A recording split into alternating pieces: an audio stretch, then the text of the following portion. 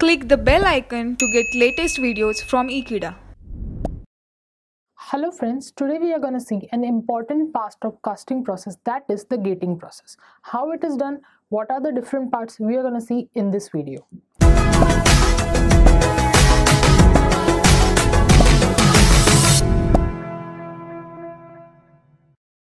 So when I'll talk about gating system, why exactly it's used? You use molten metal in the casting system. So molten metal is conveyed in your cavity through the gating system.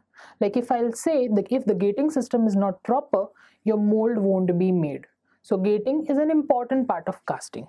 What are the different parts, how it is done, we are going to see in the next slides. Basically, what I want to say is your gating system controls your mold filling process. So mold would be exactly filled. So we are going to see in our next slides. So in this diagram, you can see the whole gating system is being shown.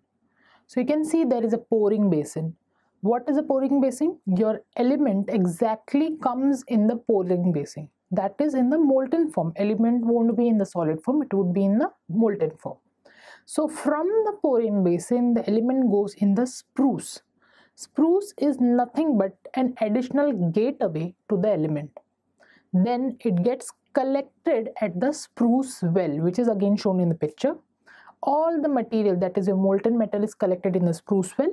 Then what happens? It passes through the cross gates, which are your runners. Your material goes in the runner, whatever kind of shape it is, it goes in the runner.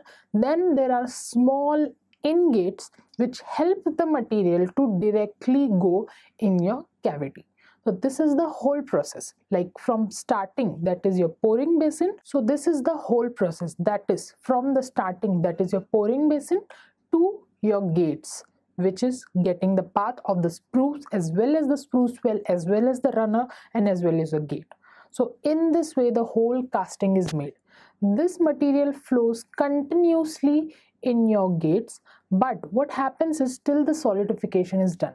So continuous solidification is also occurring in some elements but in some elements only the liquefied form is going and your casting is being made. So now i'll talk about some functions of a good gating system. It should not have any kind of erosion. As liquid is engaged erosion should not be there. Also the amount of turbulence should be very less and also it should be getting complete easily. There should not be any other turbulence or any other hindrances for getting completed your job. So the main function of your gating system is it should be easily completed. That filling should be done easily with less turbulence also with less erosion. These three points are the main thing which you need to keep in mind while doing your gating. Thank you for watching this video. Stay tuned with Ekeeda and do subscribe our channel Ekeeda